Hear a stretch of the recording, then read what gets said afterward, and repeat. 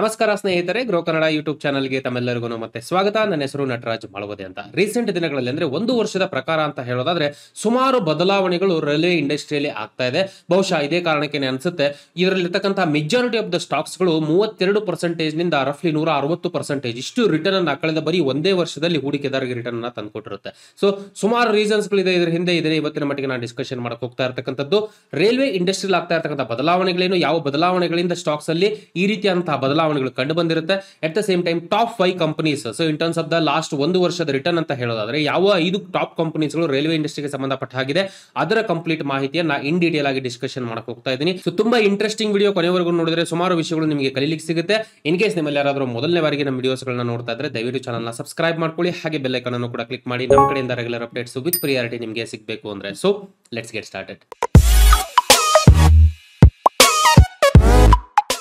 ಮೊದಲನೇದಾಗಿ as a railway industry ಅಂತ ಹೇಳೋದಾದ್ರೆ, ಸುಮಾರು ಬದಲಾವಣೆಗಳು ಕಳೆದ ಒಂದು ವರ್ಷದಲ್ಲಿ ಕಂಡು ಬಂದಿರುತ್ತೆ ಸೊ ಮೇನ್ಲಿ ಹೇಳಬೇಕಪ್ಪ ಅಂದ್ರೆ ಕ್ಯಾಪೆಕ್ಸ್ ಅಂದ್ರೆ ಇನ್ಫ್ರಾಸ್ಟ್ರಕ್ಚರ್ನ ಡೆವಲಪ್ ಮಾಡಲಿಕ್ಕೆ ಆಲ್ರೆಡಿ ಗೌರ್ಮೆಂಟ್ ಸುಮಾರು ರೀತಿಯಂತ ಕೆಲಸವನ್ನ ರೈಲ್ವೆ ಇಂಡಸ್ಟ್ರಿಲಿ ಮಾಡ್ತಾ ಇದೆ. ಸೊ ಈ ಒಂದು ಉದ್ದೇಶ ಏನಿದೆಯೋ, ಸುಮಾರು ಇನ್ವೆಸ್ಟರ್ಸ್ಗಳು ಇನಿಷಿಯಲಿ ಮಿಸ್ ಮಾಡಿದ್ರು ಕೂಡ, ಈ ಒಂದು ಪರ್ಟಿಕ್ಯುಲರ್ ಇಂಡಸ್ಟ್ರಿಗೆ ಸಿಕ್ಕಿರ್ತಕ್ಕಂಥ ಕ್ಯಾಪೆಕ್ಸ್ ಬೂಸ್ಟ್ ಇಂದ ಸುಮಾರು ರೀತಿಯಾದಂತಹ ಚೇಂಜಸ್ ಏನಿದೆಯೋ ಪಾಸಿಟಿವ್ ಚೇಂಜಸ್ಗಳು ಇಲ್ಲಿವರೆಗೂ ಈ ಇಂಡಸ್ಟ್ರಿಲಿ ಕಂಡಿರುತ್ತೆ. ಇನ್ನ ಇನ್ನೊಂದು ಕಡೆಗೆ ಅಂತ ಹೇಳೋದಾದ್ರೆ ರೀಸೆಂಟ್ ಸುದ್ದಿಲಿರ್ತಕ್ಕಂತಹ ನ್ಯೂಸ್ ನಿಮ್ಮೆಲ್ಲರಿಗೂ ಗೊತ್ತೇ ಇದೆ. ಒಂದೇ ಭಾರತ್ ಟ್ರೈನ್ಸ್ ಗಳನ್ನ ಲಾಂಚ್ ಮಾಡಿದೆ ಭಾರತ ರಫ್ಲಿ ಬರ್ತಕ್ಕಂಥ ದಿನಗಳಲ್ಲಿ ಮುನ್ನೂರರಿಂದ ನಾನೂರು ಟ್ರೈನ್ಸ್ ಗಳನ್ನ ಮೇನ್ ಮೇನ್ ಏರಿಯಾಸ್ ಗಳಿರುತ್ತೆ ಎಲ್ಲಿ ಟೈಮ್ ಕನ್ಸಂಪ್ಷನ್ ಜಾಸ್ತಿ ಇರತಕ್ಕಂತಹ ಲೊಕೇಶನ್ಸ್ಗಳಲ್ಲಿ ಅಲಾಟ್ ಮಾಡಬೇಕು ಅನ್ನೋ ಒಂದು ಪ್ಲಾನ್ ಅನ್ನು ಕೂಡ ಗೌರ್ಮೆಂಟ್ ಹೊಂದಿರುತ್ತೆ. ಹಾಗೆ ಬರ್ತಕ್ಕಂಥ ಮೂರು ವರ್ಷದಲ್ಲಿ ಇಂಡಿಯನ್ ರೈಲ್ವೆ ಏನಿದೆಯೋ ಆಲ್ಮೋಸ್ಟ್ ಮೂವತ್ತೊಂದು ಸಾವಿರ ಕೋಟಿಯ ಅಕ್ವಿಜಿಷನ್ ಕೂಡ ಪ್ಲಾನ್ ಮಾಡಿಕೊಂಡಿದೆ.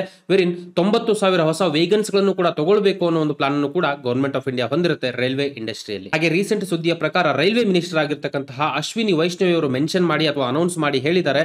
ಇನ್ನೂರು ಡಿಫ್ರೆಂಟ್ ಸ್ಟೇಷನ್ಸ್ ಗಳೇನಿದೆಯೋ ಆ ಸ್ಟೇಷನ್ಸ್ ಗಳಲ್ಲಿ ಮಾಡರ್ನ್ ಫೆಸಿಲಿಟೀಸ್ ಗಳನ್ನ ಪ್ರೊವೈಡ್ ಮಾಡಲಿಕ್ಕೆ ನಾವು ಕೆಲಸ ಮಾಡ್ತೇವೆ. ರಿಜಿನೇಷನ್ ನಡೆಯುವ ಕೆಲಸವನ್ನ ನಾವು ಮಾಡ್ತಾ ಇದ್ದೀವಿ.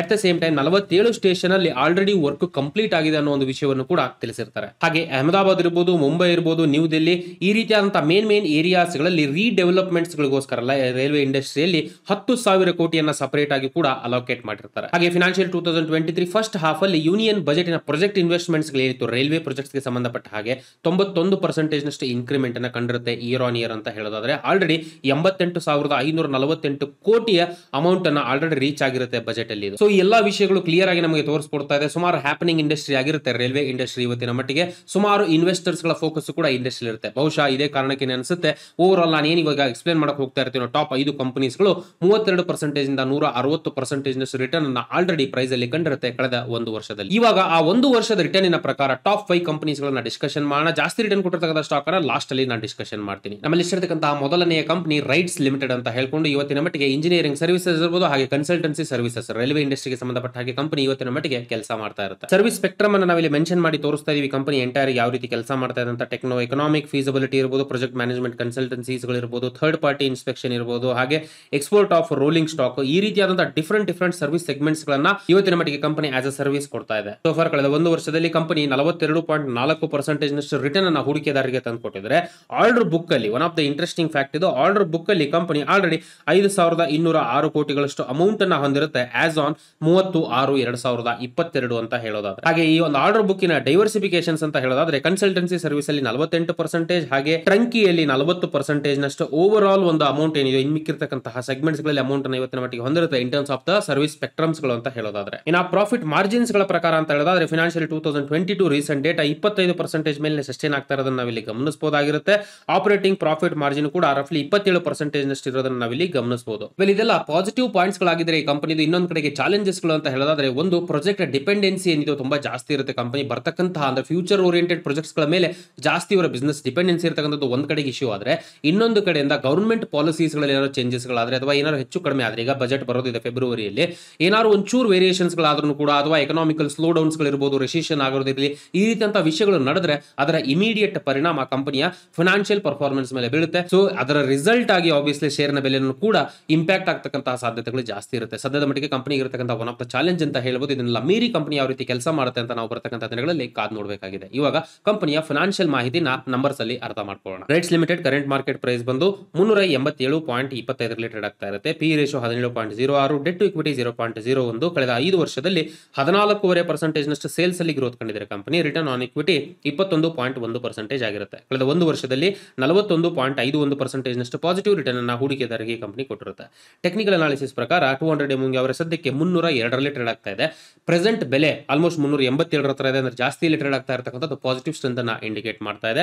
R S I fourteen data ಹೇಳುತ್ತೆ, ಐವತ್ನಾಲ್ಕು ಪಾಯಿಂಟ್ ನಾಲ್ಕು, ನಲವತ್ತರಿಂದ ಅರವತ್ತರ ಬ್ಯಾಂಡ್ ಇರೋದ್ರಿಂದ ನ್ಯೂಟ್ರಲ್ ಸೆಂಟಿಮೆಂಟ್ ಅಂತ ನಾವು ಹೇಳ್ಬೋದಾಗಿರುತ್ತೆ. ವೆಲ್ ನಮ್ಮಲ್ಲಿ ಇರ್ತಕ್ಕಂಥ ಎರಡನೇ ಕಂಪನಿ ಬಂದು ತಿತಾಗರ್ ವ್ಯಾಗನ್ಸ್ ಅಂತ ಹೇಳ್ಕೊಂಡು ಸೊ ಹೆಸರಲ್ಲೇ ಇದೆ ವೇಗನ್ಸ್ಗಳು ಸೊ ಬೇಸಿಕಲಿ ಕೋಚಸ್ಗಳು ಏನು ಬರುತ್ತೋ ಪ್ಯಾಸೆಂಜರ್ ಕೋಚಸ್ಗಳು ಇರ್ಬೋದು ಮೆಟ್ರೋ ಬೋಗಿಗಳಿರ್ಬೋದು, ಈ ರೀತಿಯಂತಹ ಓವರ್ ಆಲ್ ರೈಲ್ವೆಗೆ ಡೈರೆಕ್ಟ್ ಡಿಪೆಂಡೆನ್ಸಿ ಅಥವಾ ಡೈರೆಕ್ಟ್ ಆಗಿ ಕೆಲಸ ಮಾಡ್ತಾ ಇರ್ತಕ್ಕಂಥ ಕಂಪನಿ ಅಂತ ಹೇಳ್ಬೋದು. ಕಳೆದ ಒಂದು ವರ್ಷದಲ್ಲಿ ನೂರ ಹತ್ತು ಪಾಯಿಂಟ್ ಮೂವತ್ತೆಂಟು ಪರ್ಸೆಂಟೇಜ್ ನಷ್ಟು ವಾಪಿಂಗ್ ರಿಟರ್ನ್ ಅನ್ನ ಹೂಡಿಕೆದಾರರಿಗೆ ಈ ಕಂಪನಿ ತಂದುಕೊಟ್ಟಿರುತ್ತೆ ಆರ್ಡರ್ ಬುಕ್ ಬ್ರೇಕಪ್ಸ್ಗಳ ಪ್ರಕಾರ ಅಂತ ಹೇಳಿದ್ರೆ ರಫ್ಲಿ ಎಂಟು ಸಾವಿರದ ಐನೂರ ತೊಂಬತ್ತೈದು ಕೋಟಿಗಳಷ್ಟು ಅಮೌಂಟ್ ಏನಿದೆ ಅಂದ್ರೆ ಎಂಬತ್ತಾರು ಪರ್ಸೆಂಟೇಜ್ ಇವರಿಗೆ ಫ್ರೇಟ್ ರೋಲಿಂಗ್ ಸ್ಟಾಕ್ಸ್ ಗಳಿಂದ ಬರ್ತಾ ಇರುತ್ತೆ ಇವತ್ತಿನ ಮಟ್ಟಿಗೆ ಎಂಟೈರ್ ಆರ್ಡರ್ ಬುಕ್ ಅಲ್ಲಿ. ಹಾಗೆ ಸಾವಿರದ ಎಂಬತ್ತೈದು ಕೋಟಿಗಳಂದ್ರೆ ಲೆವೆನ್ ಪರ್ಸೆಂಟೇಜ್ ನಷ್ಟು ಪ್ಯಾಸೆಂಜರ್ ರೋಲಿಂಗ್ ಸ್ಟಾಕ್ಸ್ಗಳು ಶಿಪ್ ಬಿಲ್ಡಿಂಗ್ಗೆ ಅಥವಾ ಶಿಪ್ ಬಿಲ್ಡಿಂಗ್ ಬ್ರಿಡ್ಜ್ ಡಿಫೆನ್ಸ್ಗೆ ಸಂಬಂಧಪಟ್ಟ ಹಾಗೆ ಓನ್ಲಿ ಮೂರು ಪರ್ಸೆಂಟೇಜ್ ನಷ್ಟು ಮಾತ್ರ ಇವರ ಆರ್ಡರ್ ಬುಕ್ ಇವತ್ತಿನ ಮಟ್ಟಿಗೆ ಇರತಕ್ಕಂಥದ್ದಾಗಿರುತ್ತೆ. One of the interesting fact ಏನಪ್ಪಾ ಅಂದ್ರೆ ಎಂಟು ಸಾವಿರದ ನಾನೂರು ವೇಗನ್ಸ್ ಗಳನ್ನ ಓವರ್ ಆಲ್ ಈ ಕಂಪನಿ ರೆಡಿ ಮಾಡುತ್ತೆ ವರ್ಷದಲ್ಲಿ. ಸೊ ಅದ್ರ ಪ್ರಕಾರ ಅಂತ ಹೇಳೋದಾದ್ರೆ ಇಡೀ ಭಾರತದಲ್ಲಿ one of the largest player ಅಂತ ಹೇಳ್ಬೋದು ವೇಗನ್ ಇಂಡಸ್ಟ್ರಿಗೆ ಅಂತ ಹೇಳೋದಾದ್ರೆ. ಬರೀ ವೇಗನ್ಸ್ಗಳು ಹಾಗೆ ಕೋಚಸ್ಗಳು ಅಷ್ಟೇ ಅಲ್ಲ, ಇದ್ರ ಜೊತೆ ಜೊತೆಗೆ ಬೇರೆ ಸೆಗ್ಮೆಂಟ್ಸ್ಗಳನ್ನು ಕೂಡ ಕಂಪನಿ ಕೆಲಸ ಮಾಡ್ತಾ ಇದೆ. ಆ ರೀತಿಯಂತ ರೆವೆನ್ಯೂ ಸ್ಟ್ರೀಮ್ಸ್ಗಳು ಅಂತ ಹೇಳೋದಾದ್ರೆ ಫಿನಾನ್ಷಿಯಲ್ ಟೂ ತೌಸಂಡ್ ಟ್ವೆಂಟಿ ಒನ್ನಲ್ಲಿ ಆರು ಪರ್ಸೆಂಟೇಜ್ ನಷ್ಟು ರೆವೆನ್ಯೂ ಬೇರೆ ಸೆಗ್ಮೆಂಟ್ಸ್ ಗಳಿಂದ ಕಂಪನಿ ತಗೊಳ್ತಾ ಇತ್ತು. Financial two thousand twenty two ಆಗಸ್ಟೊತ್ತಿಗೆ ಇದು ಹದಿನೆಂಟು ಪರ್ಸೆಂಟೇಜ್ಗೆ ಇನ್ಕ್ರೀಸ್ ಆಗಿದೆ. ಇನ್ನು ಕನ್ಸರ್ನ್ಸ್ಗಳು ಅಥವಾ ರಿಸ್ಕ್ ಅಂತ ಹೇಳೋದಾದ್ರೆ ಕಂಪನಿ ಎರಡು ಮೇಜರ್ ರಿಸ್ಕ್ ಗಳಿರುತ್ತೆ. ಮೊದಲನೇದಾಗಿ ಅಂತ ಹೇಳೋದಾದ್ರೆ concentration risk so railway business ಮೇಲೆ ಜಾಸ್ತಿ ಡಿಪೆಂಡೆನ್ಸಿ ಇರೋದಿರ್ತಕ್ಕಂಥದ್ದು ರಫ್ಲಿ ಎಂಬತ್ತೈದು ಪರ್ಸೆಂಟೇಜ್ ನಷ್ಟು ಡಿಪೆಂಡೆನ್ಸಿ ರೈಲ್ವೆ ಮೇಲೆ ಇರುತ್ತೆ. ಸೊ ಆಬ್ವಿಯಸ್ಲಿ ಏನಾದ್ರು ಪಾಲಿಸೀಸ್ಗಳಲ್ಲಿ ವೇರಿಯೇಷನ್ಸ್ ಆಗೋದಿರ್ಬೋದು ಅಥವಾ ರೈಲ್ವೆ ಇಂಡಸ್ಟ್ರಿಲಿ ಏನೋ ಚೇಂಜಸ್ ಗಳಾಗೋದಿರ್ಬೋದು, ಇದರ ಡೈರೆಕ್ಟ್ ಪರಿಣಾಮ ಕಂಪನಿಯ ಬಿಸ್ನೆಸ್ ಮೇಲೆ ಬೀರುತ್ತೆ. ಸೊ ಹಾಗಾಗಿ ಕಾನ್ಸಂಟ್ರೇಷನ್ ರಿಸ್ಕ್ ಇದೆ ಅಂತ ಹೇಳ್ಬೋದು. ಇದು ಒಂದ್ ಕಡೆಗಾದ್ರೆ ಇನ್ನೊಂದು ಕಡೆಗೆ ವರ್ಕಿಂಗ್ ಕ್ಯಾಪಿಟಲ್ ಡೇಸ್ ಅಂತ ಹೇಳ್ತಾರೆ. ಸೊ ಬೇಸಿಕಲಿ ವರ್ಕಿಂಗ್ ಕ್ಯಾಪಿಟಲ್ ಏನಿರುತ್ತೋ ಕಂಪನಿ ಇರತಕ್ಕಂಥ ವರ್ಕಿಂಗ್ ಕ್ಯಾಪಿಟಲ್ ಅನ್ನ ರೆವಿನ್ಯೂ ಆಗಿ ಕನ್ವರ್ಟ್ ಮಾಡ್ಲಿಕ್ಕೆ ಎಷ್ಟು ದಿನ ಆಗುತ್ತೆ ಅನ್ನೋದನ್ನ ವರ್ಕಿಂಗ್ ಕ್ಯಾಪಿಟಲ್ ಡೇಸ್ ಅಲ್ಲಿ ಹೇಳ್ತಾರೆ. ಸೊ ಇದು ಜಾಸ್ತಿ ಇದ್ದಷ್ಟು ಅಷ್ಟೊಂದು ಒಳ್ಳೆಯ ಸೈನ್ ಅಲ್ಲ. ಕಂಪನಿಲಿ ಜಾಸ್ತಿ ವರ್ಕಿಂಗ್ ಕ್ಯಾಪಿಟಲ್ ಡೇಸ್ ಇರುತ್ತೆ. ಸೊ ಇದು ಕೂಡ ಸದ್ಯದ ಮಟ್ಟಿಗೆ ಇರತಕ್ಕಂಥ one of the challenging point ಅಂತ ನಾವು ಹೇಳ್ಬೋದು. ಇದನ್ನೆಲ್ಲ ಮೀರಿ ಕಂಪನಿ ಯಾವ ರೀತಿ ಕೆಲಸ ಮಾಡುತ್ತೆ ಅಂತ ಬರ್ತಕ್ಕಂಥ ದಿನಗಳಲ್ಲಿ ನಾವು ಕಾದ್ ನೋಡಬೇಕಾಗಿದೆ. ಇವಾಗ ಫಿನಾನ್ಷಿಯಲ್ ಮಾಹಿತಿನ ಅರ್ಥ ಮಾಡ್ಕೊಳ್ಳೋಣ. ಸದ್ಯದ ಬೆಲೆ ನೂರ ಎಂಬತ್ತೇಳು ಪಾಯಿಂಟ್ ನಾಲ್ಕು ಐದರ ಟ್ರೇಡ್ ಆಗ್ತಾ ಇದ್ರೆ ಪಿ ರೇಷೋ ಐವತ್ತೆಂಟು ಪಾಯಿಂಟ್ ಜೀರೋ ನಾಲ್ಕು debt to equity zero point ಮೂರು ಒಂಬತ್ತು ಆಗಿದೆ ಕಳೆದ ಐದು ವರ್ಷದಲ್ಲಿ ಎರಡು ಪಾಯಿಂಟ್ ನಾಲ್ಕು ಎರಡು ಪರ್ಸೆಂಟೇಜ್ ಸೇಲ್ಸ್ ಅಲ್ಲಿ ಕಂಪೌಂಡ್ ಗ್ರೋತ್ ಅನ್ನ ಈ company ಕಂಡಿರುತ್ತೆ. Return on equity zero point zero five negative ಅಲ್ಲಿ ಇರುತ್ತೆ zero point zero five percentage ನಷ್ಟು. ಹಾಗೆ ಕಳೆದ ಒಂದು ವರ್ಷದಲ್ಲಿ ನೂರ ಹತ್ತು ಪರ್ಸೆಂಟೇಜ್ ನಷ್ಟು ರಿಟರ್ನ್ ಹೂಡಿಕೆದಾರರಿಗೆ ತಂದುಕೊಟ್ಟಿರುತ್ತೆ. ಇಂಟ್ರೆಸ್ಟಿಂಗ್ ಫ್ಯಾಕ್ಟ್ ಕಳೆದ ಐದು ವರ್ಷದಲ್ಲಿ ಅಂತ ಏನು ರಿಟರ್ನ್ ಅಲ್ಲ. ಸೊ ಆಲ್ಮೋಸ್ಟ್ ಜೀರೋ ಪಾಯಿಂಟ್ ನಾಲ್ಕು ಮೂರು ಕಾಸ್ಟ್ ಕಾಸ್ಟ್ ರಿಟರ್ನ್ ಅನ್ನೇ ಹೂಡಿಕೆದಾರರಿಗೆ ಈ ಕಂಪನಿ ತಂದುಕೊಟ್ಟಿರುತ್ತೆ. ಕಳೆದ ಒಂದು ವರ್ಷದಲ್ಲೇ ಮೇಜರ್ ಆಗಿ ರಿಟರ್ನ್ ಕೊಟ್ಟಿರೋದನ್ನ ನಾವಿಲ್ಲಿ ಗಮನಿಸಬಹುದು ಹಾಗೆ ಟೆಕ್ನಿಕಲ್ ಅನಾಲಿಸಿಸ್ ಪ್ರಕಾರ ಟೂ ಹಂಡ್ರೆಡ್ ಮುಂದೆ ಅವರ ಸದ್ಯಕ್ಕೆ ನೂರ ಮೂವತ್ತೆರಡರಲ್ಲಿ ಟ್ರೇಡ್ ಆಗ್ತಾ ಇರುತ್ತೆ. ಆಬ್ವಿಯಸ್ಲಿ ಕರೆಂಟ್ ಮಾರ್ಕೆಟ್ ಪ್ರೈಸ್ ಇದಕ್ಕಿಂತ ಮೇಲೆ ಟ್ರೇಡ್ ಆಗ್ತಾ ಇರ್ತಕ್ಕಂಥ ಪಾಸಿಟಿವ್ ಅಂತ ಇಂಡಿಕೇಟ್ ಮಾಡ್ತಾ ಇದೆ. And one of the most important point ಏನಪ್ಪ ಅಂದ್ರೆ ಆರ್ ಎಸ್ ಫೋರ್ಟೀನ್ ಎಪ್ಪತ್ತು ಅಂತ ಇಂಡಿಕೇಟ್ ಮಾಡ್ತಾ ಇದೆ. ಐಡಿಯಲಿ ಆರ್ ಎಸ್ ಎ ಅರವತ್ತರ ಮೇಲೆ ಯಾವಾಗಿರುತ್ತೋ. ಪಾಸಿಟಿವ್ ಸ್ಟ್ರೆಂತ್ ಅಂತ ನಾವು ಹೇಳ್ಬೋದಾಗಿರುತ್ತೆ.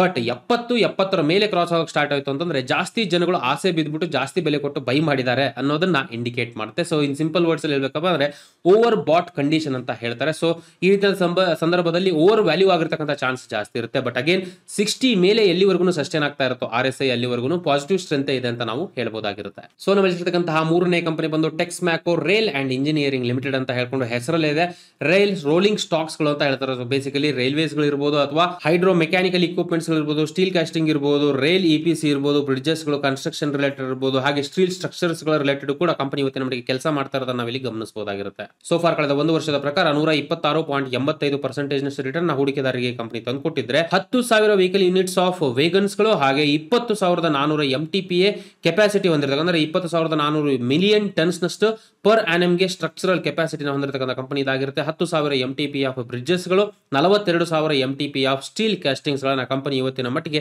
ಕೆಪಾಸಿಟಿ ಆಗಿ ಹೊಂದಿರುತ್ತೆ. ಹಾಗೆ ರೀಸೆಂಟ್ ಸುದ್ದಿಗಳ ಪ್ರಕಾರ ಬ್ರೈಟ್ ಪವರ್ ಪ್ರಾಜೆಕ್ಟ್ಸ್ ಅನ್ನೋ ಒಂದು ಕಂಪನಿನ ಅಕ್ವೈರ್ ಮಾಡಿದೆ ಈ company so basically overhead power ಲೈನ್ಸ್ಗಳು ಟ್ರಾನ್ಸ್ಫಾರ್ಮರ್ಸ್ಗಳು ಈ ರೀತಿಯಂತ ಕ್ರಿಟಿಕಲ್ ಇಕ್ವಿಪ್ಮೆಂಟ್ಸ್ಗಳ ರಿಲೇಟೆಡ್ ಕೂಡ ಸರ್ವಿಸ್ನ ಕೊಡಬೇಕು ಅನ್ನೋ ಒಂದು ಉದ್ದೇಶ ಇಟ್ಕೊಂಡು ರೈಲ್ವೆ ಇಂಡಸ್ಟ್ರಿಯಲ್ಲಿ ಸೊ ಈ ರೀತಿಯಂತ ಸ್ಟ್ರಾಟಜಿಟಿಕ್ ಅಕ್ವಿಜಿಷನ್ಗಳು ಏನಿದೆಯೋ ಕಂಪನಿಗೆ ಎಲ್ಲಾ ರೀತಿಯಾದಂತಹ ಡೈಮೆನ್ಷನ್ಸ್ಗಳು ರೈಲ್ವೆ ಅಂತಂದ್ರೆ ಸುಮಾರು ರೀತಿಯಂತಹ ಒಂದು ಡಿಪಾರ್ಟ್ಮೆಂಟ್ಸ್ಗಳು ಬರುತ್ತೆ. ಆ ಡಿಪಾರ್ಟ್ಮೆಂಟ್ಸ್ಗಳು ರಿಲೇಟೆಡ್ ಸರ್ವಿಸ್ನ ಕೊಡ್ತಕ್ಕಂಥ ಅವಕಾಶವನ್ನ ಈ ಕಂಪನಿ ಹೊಂದಿದೆ ಅಂತ ಹೇಳ್ಬೋದು. ಸದ್ಯದ ಮಟ್ಟಿಗೆ ಇರತಕ್ಕಂಥ one of the super power ಅಂತ ಕೂಡ ಹೇಳ್ಬೋದಾಗಿರುತ್ತೆ. ಈ ಕಂಪನಿಗೆ ಇನ್ನೊಂದು ಕಡೆಗೆ ಚಾಲೆಂಜಸ್ಗಳು ಅಂತ ಹೇಳೋದಾದ್ರೆ, ಇವ್ರಿಗೆ ಬೇಕಾಗಿರ್ತಕ್ಕಂಥ ರಾ ಮಟೀರಿಯಲ್ ಏನಿದೆಯೋ ಡೈರೆಕ್ಟ್ಲಿ ರೈಲ್ವೆ ಡಿಪಾರ್ಟ್ಮೆಂಟ್ ಇಂದ ತಗೊಳ್ಬೇಕಾಗಿರುತ್ತೆ. ಬಟ್ ಈ ಕಂಪನಿಗೆ ಎರಡ್ ಸಾವಿರದ ಹದಿನೇಳರಿಂದ ಆ ಒಂದು ಸಪ್ಲೈ ನಿಂತ್ಕೊಂಡಿದೆ. ಬಟ್ ಇದಾದ್ಮೇಲೆ ಇವರು ಆರ್ ಡಿ ಎಸ್ ಅನ್ನೋ ಒಂದು ಗ್ರೂಪ್ ಬರುತ್ತೆ. ಸೊ ಈ ಗ್ರೂಪಿನ ಪರ್ಮಿಷನ್ ತಗೊಂಡೇನೆ ಓವರ್ ಆಲ್ ರಾ ಮಟೀರಿಯಲ್ನ ಪ್ರೊಕ್ಯೂರ್ ಮಾಡಿಕೊಂಡು ಪ್ರೊಡ್ಯೂಸ್ ಮಾಡಬೇಕಾಗಿರುತ್ತೆ. ಸೊ ಹಾಗಾಗಿ ರಾ ಮಟೀರಿಯಲ್ ಅಲ್ಲಿ ಇರತಕ್ಕಂತಹ ವಲಟೈಲ್ ನೇಚರ್ ಏನಿದೆಯೋ ಈ ಕಂಪನಿಗೆ ಇರತಕ್ಕಂತಹ one of the biggest challenge ಅಂತ ಹೇಳಿದ್ರೆ ತಪ್ಪಾಗಲ್ಲ. ಇವಾಗ ಕಂಪನಿಯ ಫಿನಾನ್ಷಿಯಲ್ ಮಾಹಿತಿನ ಅರ್ಥ ಮಾಡ್ಕೊಳ್ಳೋಣ. ಸದ್ಯದ ಬೆಲೆ ಅರವತ್ತೆರಡು ಪಾಯಿಂಟ್ ತೊಂಬತ್ತೈದರಲ್ಲಿ ಟ್ರೇಡ್ ಆಗ್ತಾ ಇದೆ ಕಂಪನಿದು ಡೆಟ್ ಟು ಇಕ್ವಿಟೀಸ್ ಸಾಲದ ನಂಬರ್ ಅಂತ ಹೇಳಿದ್ರೆ ಜೀರೋ ಪಾಯಿಂಟ್ ಆರು ಏಳು ಆಗಿರುತ್ತೆ. ಕಳೆದ ಐದು ವರ್ಷದಲ್ಲಿ ಏಳು ಪಾಯಿಂಟ್ ಜೀರೋ ನಾಲ್ಕು ಪರ್ಸೆಂಟೇಜ್ನಷ್ಟು ಸೇಲ್ಸ್ ಅಲ್ಲಿ ಕಂಪೌಂಡೆಡ್ನ ಕಂಡಿದ್ದಾರೆ. ಕಂಪನಿ ರಿಟರ್ನ್ ಆನ್ ಇಕ್ವಿಟಿ ಒಂದು ಪಾಯಿಂಟ್ ನಾಲ್ಕು ಏಳು ಪರ್ಸೆಂಟೇಜ್ ಆಗಿರುತ್ತೆ. ಕಳೆದ ಒಂದು ವರ್ಷದಲ್ಲಿ ನೂರ ಇಪ್ಪತ್ತಾರು ಪಾಯಿಂಟ್ ಎಂಟು ಐದು ಪರ್ಸೆಂಟೇಜ್ನಷ್ಟು ಪಾಸಿಟಿವ್ ರಿಟರ್ನ್ ಹೂಡಿಕೆದಾರರಿಗೆ ಕೊಟ್ಟಿದ್ರೆ ನೀವು ಗಮನಿಸಬಹುದು ಕಳೆದ ಐದು ವರ್ಷದಿಂದ ಆಲ್ಮೋಸ್ಟ್ ಮೇಜರ್ ಆಗಿ ಏನು ಪರ್ಫಾರ್ಮೆನ್ಸ್ ಈ ಪರ್ಟಿಕ್ಯುಲರ್ ಸ್ಟಾಕ್ ಕಂಡಿರಲ್ಲ ಅನ್ನೋದನ್ನ ನಾವಿಲ್ಲಿ ಗಮನಿಸಬಹುದು ಬರೀ ನೆಗೆಟಿವ್ ಹತ್ತು ನೆಗೆಟಿವ್ ರಿಟರ್ನ್ ಇರುತ್ತೆ. ಕಳೆದ ಐದು ವರ್ಷದ ಪ್ರಕಾರ ನೆಗೆಟಿವ್ ಹತ್ತು ಪಾಯಿಂಟ್ ಏಳು ಒಂದು ಪರ್ಸೆಂಟೇಜ್ ಕಳೆದ ಒಂದು ವರ್ಷದಲ್ಲಿ ನೂರ ಇಪ್ಪತ್ತಾರು ಪರ್ಸೆಂಟೇಜ್ ರಿಟರ್ನ್ ಬಂದಿರೋದನ್ನ ನಾವಿಲ್ಲಿ ಗಮನಿಸಬಹುದು ಇನ್ನ ಟೆಕ್ನಿಕಲ್ ಅನಾಲಿಸಿಸ್ ಪ್ರಕಾರ ಟೂ ಎಂ ಅವರೇಜ್ ನಲವತ್ನಾಲ್ಕು ಪಾಯಿಂಟ್ ತೊಂಬತ್ತು ಎಂಟರಲ್ಲಿ ಟ್ರೇಡ್ ಆಗ್ತಾ ಇರುತ್ತೆ. ಆಬ್ವಿಯಸ್ಲಿ ಇದಕ್ಕೆ ಕಂಪೇರ್ ಮಾಡಿ ನೋಡೋದಾದ್ರೆ ಪ್ರೆಸೆಂಟ್ ಬೆಲೆ ಇದರ ಮೇಲೆ ಟ್ರೇಡ್ ಆಗ್ತಾ ಇರ್ತಕ್ಕಂಥದ್ದು ಪಾಸಿಟಿವ್ ಸ್ಟ್ರೆಂತ್ ಇಂಡಿಕೇಟ್ ಮಾಡ್ತಾ ಇದೆ. ಆರ್ ಎಸ್ ಐ ಫೋರ್ಟೀನ್ ಎಪ್ಪತ್ತೇಳು, ಈ ಒಂದು ಪಾಸಿಟಿವ್ ಟ್ರೆಂಡ್ ಅಲ್ಲಿ ಇದ್ರೂ ಕೂಡ ಪ್ರೈಸ್ ಎಪ್ಪತ್ತೇಳು ಅಂತಂದ್ರೆ ಓವರ್ ಬಾಟ್ ಕಂಡೀಷನ್ ಅನ್ನ ಸದ್ಯದ ಮಟ್ಟಿಗೆ ಆರ್ ಎಸ್ ಐ ಇಂಡಿಕೇಟ್ ಮಾಡ್ತಾ ಇದೆ. ಸೊ ನಮ್ಮಲ್ಲಿ ನಾಲ್ಕನೇ ಕಂಪನಿ ಬಂದು ರೈಲ್ವೆ ವಿಕಾಸ್ ನಿಗಮ್ ಲಿಮಿಟೆಡ್ ಅಂತ ಹೇಳ್ಕೊಂಡು ಹೆಸರಲ್ಲೇ ಇದೆ. ರೈಲ್ವೆಗೆ ಸಂಬಂಧಪಟ್ಟಿರತಕ್ಕಂಥ ಇನ್ಫ್ರಾಸ್ಟ್ರಕ್ಚರ್ ಡೆವಲಪ್ಮೆಂಟ್ಸ್ ಗಳಿಗೋಸ್ಕರ ಇವತ್ತಿನ ಮಟ್ಟಿಗೆ ಕಂಪನಿ ಕೆಲಸ ಮಾಡ್ತಾ ಇದೆ. ನೋಡ್ತಾ ಇರಬಹುದು ನೀವು. ನ್ಯೂ ಲೈನ್ಸ್ ಗಳಿರ್ಬೋದು ರೈಲ್ವೆ ಎಲೆಕ್ಟ್ರಿಕ್ ಎಲೆಕ್ಟ್ರಿಫಿಕೇಶನ್ ಇರ್ಬೋದು, ಹಾಗೆ ಡಬಲಿಂಗ್ ಆಫ್ ಲೈನ್ಸ್ ಗಳಿರ್ಬೋದು ವರ್ಕ್ಶಾಪ್ಸ್ ಗಳಿರ್ಬೋದು ಗೇಜ್ ಕನ್ವರ್ಷನ್ ಇರ್ಬೋದು, ಈ ರೀತಿಯಾದಂತಹ ಏನು ಇಂಪ್ರೂವ್ಮೆಂಟ್ ಇರುತ್ತೋ ಇನ್ಫ್ರಾಸ್ಟ್ರಕ್ಚರ್ ಇಂಪ್ರೂವ್ಮೆಂಟ್ ಕೆಲಸವನ್ನ ರೈಲ್ವೆಗೆ ಸಂಬಂಧಪಟ್ಟ ಹಾಗೆ ಕಂಪನಿ ಕೆಲಸ ಮಾಡ್ತಾ ಇದೆ ಇವತ್ತಿನ ಕಾಲಕ್ಕೆ. ಹಾಗೆ ಇವರ ಆರ್ಡರ್ ಬುಕ್ಕಿನ ಪ್ರಕಾರ ಡೈವರ್ಸಿಫಿಕೇಶನ್ ಅಲ್ಲಿ ನೋಡ್ತಾ ಇರಬಹುದು ನಲವತ್ತೆರಡು ಪರ್ಸೆಂಟೇಜ್ ನಷ್ಟು ನ್ಯೂ ಲೈನ್ ಸೆಗ್ಮೆಂಟ್ ಇಂದ ಇವರಿಗೆ ಆರ್ಡರ್ ಬುಕ್ ಇರುತ್ತೆ. ಹಾಗೆ ರೈಲ್ವೆ ಎಲೆಕ್ಟ್ರಿಫಿಕೇಶನ್ ಇಂದ ಬರೀ ಎರಡು ಪರ್ಸೆಂಟೇಜ್ ಮಾತ್ರ. ಮೆಟ್ರೋ ಪ್ರಾಜೆಕ್ಟ್ಸ್ ಗಳಿಂದ ಹದಿಮೂರು ಪರ್ಸೆಂಟೇಜ್ ಗೇಜ್ ಕನ್ವರ್ಷನ್ ಇಂದ ಎರಡು ಪರ್ಸೆಂಟೇಜ್ ಬಿಸ್ನೆಸ್ ಡೆವಲಪ್ಮೆಂಟ್ಸ್ಗೆ ಸಂಬಂಧಪಟ್ಟ ಹಾಗೆ ಏಳು ಪರ್ಸೆಂಟೇಜ್ ಡಬ್ಲಿಂಗ್ ಅಲ್ಲಿ ಇಪ್ಪತ್ತೆಂಟು ಪರ್ಸೆಂಟೇಜ್ ನಷ್ಟು ಓವರ್ ಆಲ್ ಆರ್ಡರ್ ಬುಕ್ ಇವರಿಗಿದ್ರೆ ಅದರ್ ಸೆಗ್ಮೆಂಟ್ಸ್ ಅಲ್ಲಿ ನಾಲ್ಕು ಪರ್ಸೆಂಟೇಜ್ ನಷ್ಟು overall robust order book ಅನ್ನ ಈ ಕಂಪನಿ ಹೊಂದಿರುತ್ತೆ. ಕಳೆದ ಒಂದು ವರ್ಷದ ಪ್ರಕಾರ ನೂರ ನಲವತ್ತು ಪಾಯಿಂಟ್ ಒಂಬತ್ತು ಪರ್ಸೆಂಟೇಜ್ ನಷ್ಟು ಪಾಸಿಟಿವ್ ರಿಟರ್ನ್ ಅನ್ನ ಹೂಡಿಕೆದಾರರಿಗೆ ಕಂಪನಿ ತಂದು ಕೊಟ್ಟಿರುತ್ತೆ one of the biggest positive point ಅಂತ ಹೇಳೋದಾದ್ರೆ ಇವ್ರಿಗಿರ್ತಕ್ಕಂಥ ಆರ್ಡರ್ ಬುಕ್ ಅಂತ ಹೇಳ್ಬೋದು. ನಾನು ಮೆನ್ಷನ್ ಮಾಡಿದೆ ರೋಬಸ್ಟ್ ಆರ್ಡರ್ ಬುಕ್ ಅಂತ ಹೇಳ್ಕೊಂಡು ಐದು ಸಾವಿರದ ಐದುನೂರು ಕೋಟಿ ಆರ್ಡರ್ ಬುಕ್ ಅನ್ನ ಕಂಪನಿ ಹೊಂದಿರುತ್ತೆ. ಸೊ ಇವರ ರೆವಿನ್ಯೂಗೆ ಕಂಪೇರ್ ಮಾಡಿ ನೋಡ್ತೀವಪ್ಪ ಅಂತಂದ್ರೆ ಆರ್ಡರ್ ಬುಕ್ ಅನ್ನ ಟೂ ಪಾಯಿಂಟ್ ಫೈವ್ ಟೈಮ್ಸ್ ನಷ್ಟು ಎಕ್ಸ್ಟ್ರಾ ಆರ್ಡರ್ ಬುಕ್ ಅನ್ನ company already ಹೊಂದಿರತಕ್ಕಂಥದ್ದು one of the biggest positive point ಅಂತ ನಾವು ಹೇಳ್ಬೋದು. ಬಟ್ ಇದಷ್ಟೇ ಅಲ್ಲ, ಐವತ್ನಾಲ್ಕು ಪರ್ಸೆಂಟೇಜ್ ನಷ್ಟು ಟೋಟಲ್ ಆರ್ಡರ್ ಬುಕ್ ಅನ್ನ ಎಕ್ಸಿಕ್ಯೂಟ್ ಮಾಡಿದೆ already company financial year two thousand twenty three ಪ್ರಕಾರ ಕ್ವಾರ್ಟರ್ ಟೂ ಅಲ್ಲಿ ಡೇಟಾವನ್ನ ನಾವು ನೋಡೋದಾದ್ರೆ. ಸೊ ಇದೆಲ್ಲ ಕಂಪನಿಗೆ ಇರತಕ್ಕಂಥ ಪಾಸಿಟಿವ್ ಪಾಯಿಂಟ್ಸ್ ಗಳಾದ್ರೆ ಇನ್ನೊಂದು ಕಡೆಯಿಂದ ಪ್ರಾಫಿಟ್ ಮಾರ್ಜಿನ್ಸ್ಗಳ ಪ್ರಕಾರ ಅಂತ ಹೇಳೋದಾದ್ರೆ ಕಂಪನಿ ಬಹಳ ಕಡಿಮೆ ಒಂದು ಪ್ರಾಫಿಟ್ ಮಾರ್ಜಿನ್ಸ್ ಗಳನ್ನ ಕಂಪನಿ ಹೊಂದಿದೆ ಅಂತ ಹೇಳಿದ್ರೆ ತಪ್ಪಾಗಲ್ಲ, ನೀವು ಗಮನಿಸ್ತಾ ಇರಬಹುದು ಐದರಿಂದ ಆರು ಪರ್ಸೆಂಟೇಜ್ ಒಳಗಡೆಗೆ ಮಾತ್ರ ಇವರ ಓವರ್ ಆಲ್ ಪ್ರಾಫಿಟ್ ಮಾರ್ಜಿನ್ಸ್ ಗಳಿರುತ್ತೆ. ಈ ಒಂದು ಆರ್ಡರ್ ಬುಕ್ ಸಿಕ್ಕರು ಆರ್ಡರ್ ಬುಕ್ ಅಲ್ಲಿ ಬಂದಿರತಕ್ಕಂತಹ ಒಂದು ಅಮೌಂಟ್ ಏನಿದೆಯೋ ಆ ಎಕ್ಸಿಕ್ಯೂಟೆಡ್ ಅಮೌಂಟ್ ಅಲ್ಲಿ ನೆಟ್ ಪ್ರಾಫಿಟ್ ಅನ್ನ ತೆಗೆಯೋದ್ರಲ್ಲಿ ಅಷ್ಟೊಂದು ಎಫೆಕ್ಟಿವ್ ಆಗಿ ಕಂಪನಿ ಕೆಲಸ ಮಾಡ್ತಾ ಇಲ್ಲ ಅಂತ ಹೇಳ್ಬೋದು. ಅಥವಾ ಇದು ಎಕ್ಸ್ಪೆನ್ಸಸ್ಗಳು ಜಾಸ್ತಿ ಇರ್ಬೋದು ಇನ್ನೊಂದು ಕಡೆಯಿಂದ ಅಂತ ಹೇಳೋದಾದ್ರೆ. ಸೊ ಓವರ್ ಆಲ್ ಪ್ರಾಫಿಟ್ ಮಾರ್ಜಿನ್ಸ್ಗಳು ತುಂಬಾ ಜಾಸ್ತಿ ಇಲ್ಲದೆ ಇರತಕ್ಕಂಥದ್ದು one of the concerning point ಅಂತ ನಾವಿಲ್ಲಿ ಹೇಳ್ಬೋದಾಗಿರುತ್ತೆ. ಇವಾಗ ಕಂಪನಿಯ ಫೈನಾನ್ಷಿಯಲ್ ಮಾಹಿತಿನ ಅರ್ಥ ಮಾಡ್ಕೊಳ್ಳೋಣ. Railway Vikas Nigam limited current market ಬೆಲೆ, ಸದ್ಯದ ಬೆಲೆ ಎಂಬತ್ತು ಪಾಯಿಂಟ್ ಒಂದು ಆಗಿರುತ್ತೆ. ಪಿ ರೇಷೋ ಹನ್ನೆರಡು ಪಾಯಿಂಟ್ ಮೂರು ಏಳು ಡೆಟ್ ಇಕ್ವಿಟಿ ಜೀರೋ ಪಾಯಿಂಟ್ ಒಂಬತ್ತು ಒಂದು ಆಗಿದ್ರೆ ಕಳೆದ ಐದು ವರ್ಷದ ಪ್ರಕಾರ ಇಪ್ಪತ್ತಾರು ಪಾಯಿಂಟ್ ಎಪ್ಪತ್ತೊಂಬತ್ತು ಪರ್ಸೆಂಟೇಜ್ನಷ್ಟು ಸೇಲ್ಸ್ ಅಲ್ಲಿ ಗ್ರೋತ್ ಅನ್ನ ಕಂಡಿರುತ್ತೆ ಕಂಪನಿ ರಿಟರ್ನ್ ಆನ್ ಇಕ್ವಿಟಿ ಹತ್ತೊಂಬತ್ತು ಪಾಯಿಂಟ್ ಆರು ಆರು ಪರ್ಸೆಂಟೇಜ್ ಆಗಿದ್ರೆ ಕಳೆದ ಒಂದು ವರ್ಷದಲ್ಲಿ ನೂರ ನಲವತ್ತು ಪಾಯಿಂಟ್ ಒಂಬತ್ತು ಪರ್ಸೆಂಟೇಜ್ನಷ್ಟು ಪಾಸಿಟಿವ್ ರಿಟರ್ನ್ ಹೂಡಿಕೆದಾರರಿಗೆ ತಂದುಕೊಟ್ಟಿರುತ್ತೆ. ಟೆಕ್ನಿಕಲ್ ಅನಾಲಿಸಿಸ್ ಪ್ರಕಾರ ಸದ್ಯದ ಬೆಲೆ ಟೂ ಹಂಡ್ರೆಡ್ ಮೂವಿಂಗ್ ಅವರೇಜ್ ಮೇಲೆ ಟೂ ಹಂಡ್ರೆಡ್ ಎಂ ಅವರೇಜ್ ಸದ್ಯಕ್ಕೆ ಮೂವತ್ತೆರಡು ರೂಪಾಯಿ ಇದೆ ಬಟ್ ಪ್ರೆಸೆಂಟ್ ಬೆಲೆ ಎಂಬತ್ತರಲ್ಲಿರೋದ್ರಿಂದ ಆಬ್ವಿಯಸ್ಲಿ ಇದು ಪಾಸಿಟಿವ್ ಅಂತ ಇಂಡಿಕೇಟ್ ಮಾಡ್ತಾ ಇದೆ. ಆರ್ ಎಸ್ ಐ ಫೋರ್ಟಿನೂ ಕೂಡ ಎಂಬತ್ತೆರಡು, ಅಂದ್ರೆ ಅರವತ್ತರ ಮೇಲೆ ಇದೆ. ಪಾಸಿಟಿವ್ ಸ್ಟ್ರೆಂತ್ ಆಗಿದ್ರು ಕೂಡ ಜಾಸ್ತಿ ಜನಗಳು ಜಾಸ್ತಿ ಬೆಲೆ ಕೊಟ್ಟು ಬೈ ಮಾಡಿದಾರೆ ಅನ್ನೋ ಒಂದು ಸಿಚುವೇಶನ್ ಸದ್ಯದ ಮಟ್ಟಿಗೆ ತೋರಿಸ್ತಾ ಇದೆ. ಓವರ್ ಬಾಟ್ ಕಂಡೀಷನ್ ಅಂತ ಹೇಳ್ಬೋದು ನಾವು. ಆರ್ ಮಾಹಿತಿ ಪ್ರಕಾರ. ವೆಲ್ ನಮ್ಮ ಲಿಸ್ಟ್ ಇರತಕ್ಕಂಥ ಕೊನೆಯ ಕಂಪನಿ ಬಂದು ಜುಪಿಟರ್ ವ್ಯಾಗನ್ಸ್ ಲಿಮಿಟೆಡ್ ಅಂತ ಹೇಳ್ಕೊಂಡು ಹೆಸರಲ್ಲೇ ಇದೆ. ಎರಡ್ ಸಾವಿರದ ಆರರಲ್ಲಿ ಅಫಿಷಿಯಲಿ ಜರ್ನಿ ಸ್ಟಾರ್ಟ್ ಆಗುತ್ತೆ ವೆರಿ ರೀಸೆಂಟ್ಲಿ ಅಂತ ಹೇಳ್ಬೋದು. ಬಟ್ ಇವತ್ತಿನ ಮಟ್ಟಿಗೆ one of the leading railway manufacturing unit ಆಗಿ ಈ ಕಂಪನಿ ಹೊರಹೊಮ್ಮಿದೆ. ಸೊ ಫಾರ್ ನಾಲ್ಕು ಸಾವಿರದ ಇನ್ನೂರು ವ್ಯಾಗನ್ಸ್ ಗಳನ್ನ ರೆಡಿ ಮಾಡ್ತಕ್ಕಂಥ ಕೆಪಾಸಿಟಿಯನ್ನು ಕಂಪನಿ ಹೊಂದಿರುತ್ತೆ. ಅಂಡ್ ಕಳೆದ ಒಂದು ವರ್ಷದಲ್ಲಿ ನೂರ ಐವತ್ತೆಂಟು ಪಾಯಿಂಟ್ ಎಪ್ಪತ್ಮೂರು ಪರ್ಸೆಂಟೇಜ್ ರಿಟರ್ನ್ ಹೂಡಿಕೆದಾರರಿಗೆ ಈ company ತಂದುಕೊಟ್ಟಿರುತ್ತೆ. So one of the positive point ಕಂಪನಿಗೆ ಅಂತ ಹೇಳೋದಾದ್ರೆ ಸೇಲ್ಸ್ ಆಫ್ ಆಪರೇಷನ್ಸ್ ಗಳಿದೆಯೋ ಇನ್ಕ್ರೀಸ್ ಆಗ್ತಾ ಇರೋದನ್ನ ನಾವಿಲ್ಲಿ ಗಮನಿಸಬಹುದಾಗಿರುತ್ತೆ ನೋಡ್ತಾ ಇರಬಹುದು ನೀವು. ಓವರ್ ಆಲ್ ಆಪರೇಟಿಂಗ್ ಇನ್ಕಮ್ ಏನಿದೆಯೋ ಕಂಪನಿದು ಹದಿನೆಂಟು ಪಾಯಿಂಟ್ ನಾಲ್ಕು ಪರ್ಸೆಂಟೇಜ್ ನಷ್ಟು ಕಂಪೌಂಡೆಡ್ ಗುರುತನ್ನ ಕಂಡಿರುತ್ತೆ ಎರಡ್ ಸಾವಿರದ ಹದಿನೇಳರಿಂದ ಎರಡ್ ಸಾವಿರದ ಇಪ್ಪತ್ತೊಂದು ಅನ್ನೋಷ್ಟೊತ್ತಿಗೆ ಓವರ್ ಆಲ್ ಎಕ್ಸ್ಪೆಕ್ಟೇಷನ್ಸ್ಗಳ ಪ್ರಕಾರ ಗವರ್ಮೆಂಟ್ ಆಫ್ ಇಂಡಿಯಾ ತೊಂಬತ್ತು ಸಾವಿರ ವೇಗನ್ಸ್ ಗಳನ್ನ ಪರ್ಚೇಸ್ ಮಾಡಬೇಕು ಅನ್ನೋ ಒಂದು ಎಕ್ಸ್ಪೆಕ್ಟೇಷನ್ ಇರುತ್ತೆ. ಸೊ ಹಾಗಾಗಿ ಈ ರೀತಿಯಾದಂತಹ ಹ್ಯೂಜ್ ಆರ್ಡರ್ ಕ್ವಾಂಟಿಟಿನೂ ಕೂಡ ಈ ಕಂಪನಿ ಪಡಿತಕ್ಕಂತಹ ಪಾಸಿಬಿಲಿಟೀಸ್ಗಳು ಜಾಸ್ತಿ ಇರುತ್ತೆ. ಬಿಕಾಸ್ ಆಲ್ರೆಡಿ ಈ ಸೆಗ್ಮೆಂಟ್ ವೈಸ್ ಕಂಪನಿ ಲೀಡಿಂಗ್ ಅಲ್ಲಿ ಆಲ್ರೆಡಿ ಮಾರ್ಕೆಟ್ ಅಲ್ಲಿ ಇರುತ್ತೆ. ನಾವು one of the concerning point ಅಂತ ಹೇಳೋದಾದ್ರೆ ಕಂಪನಿಯ ಇನ್ವೆಂಟರಿ ಡೇಸ್ಗಳು ಅಂತ ಹೇಳ್ಬೋದು. ಅಂದ್ರೆ ಜಾಸ್ತಿ ಇನ್ವೆಂಟರಿ ಪೈಲಪ್ ಆಗ್ತಕ್ಕಂಥ ಪಾಸಿಬಿಲಿಟೀಸ್ ಕಂಪನಿ ಇರುತ್ತೆ. ಪ್ರಾಜೆಕ್ಟ್ ಮೈಲ್ ಸ್ಟೋನ್ಸ್ಗಳ ಬೇಸಿಸ್ ಅಲ್ಲಿ ಕಂಪನಿ ಕೆಲಸ ಮಾಡ್ತಾ ಇರೋದ್ರಿಂದ ಇನ್ವೆಂಟರಿ ಡೇಸ್ಗಳು ರಫ್ಲಿ ತೊಂಬತ್ತರಿಂದ ನೂರ ಇಪ್ಪತ್ತು ದಿನಗಳಷ್ಟು ಇನ್ವೆಂಟರಿ ಡೇಸ್ ಅನ್ನ ಈ ಕಂಪನಿ ಹೊಂದಿರುತ್ತೆ. ಸದ್ಯದ ಮಟ್ಟಿಗೆ ಇರತಕ್ಕಂಥ ಚಾಲೆಂಜ್ ಪಾಯಿಂಟ್ ಅಂತ ನಾವು ಹೇಳ್ಬೋದು. ಇವಾಗ ಕಂಪನಿಯ ಫಿನಾನ್ಷಿಯಲ್ ಮಾಹಿತಿನ ಅರ್ಥ ಮಾಡ್ಕೊಳ್ಳೋಣ. ಜುಪಿಟರ್ ವ್ಯಾಗನ್ಸ್ ಸದ್ಯದ ಬೆಲೆ ಎಂಬತ್ಮೂರು ಪಾಯಿಂಟ್ ಏಳು ರಿಲೇಟೆಡ್ ಆಗ್ತಾ ಇದ್ರೆ ಪಿ ರೇಷೋ ಐವತ್ತೆರಡು ಪಾಯಿಂಟ್ ಎಂಟು ಆರು debt to equity zero point ಮೂರು ಎರಡು, ಕಳೆದ ಐದು ವರ್ಷದಲ್ಲಿ ಅರವತ್ತೆರಡು ಪಾಯಿಂಟ್ ಜೀರೋ ಎಂಟು ಪರ್ಸೆಂಟೇಜ್ ನಷ್ಟು ಓವರ್ ಆಲ್ ಸೇಲ್ಸ್ ಅಲ್ಲಿ ಗ್ರೋತ್ ಕಂಡಿದ್ರೆ ಕಂಪನಿ ಏಳು ಪಾಯಿಂಟ್ ಐದು ಒಂಬತ್ತು ಪರ್ಸೆಂಟೇಜ್ ನಷ್ಟು ರಿಟರ್ನ್ ಆನ್ ಇಕ್ವಿಟಿಯನ್ನು ಹೊಂದಿರುತ್ತೆ. ಕಳೆದ ಒಂದು ವರ್ಷದಲ್ಲಿ ನೂರ ಐವತ್ತೆಂಟು ಪಾಯಿಂಟ್ ಎಪ್ಪತ್ಮೂರು ಪರ್ಸೆಂಟೇಜ್ ನಷ್ಟು ಪಾಸಿಟಿವ್ ರಿಟರ್ನ್ ಇಂಟ್ರೆಸ್ಟಿಂಗ್ಲಿ ಕಳೆದ ಐದು ವರ್ಷದಲ್ಲೂ ಕೂಡ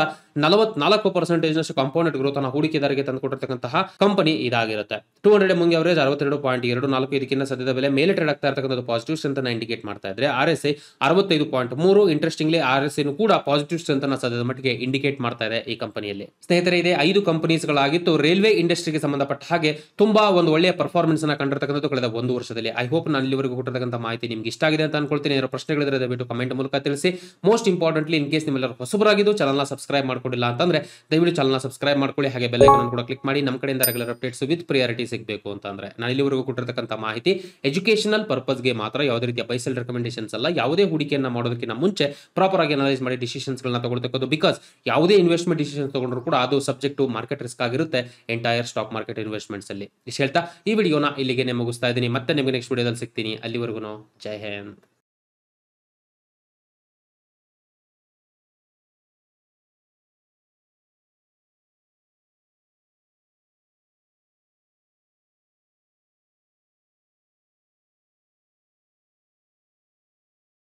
Investment in securities market are subject to market risks. Read all the related documents carefully before investing. Please read the risk disclosure documents carefully before investing in equity shares, derivatives, mutual fund, and or other instruments traded on the stock exchanges.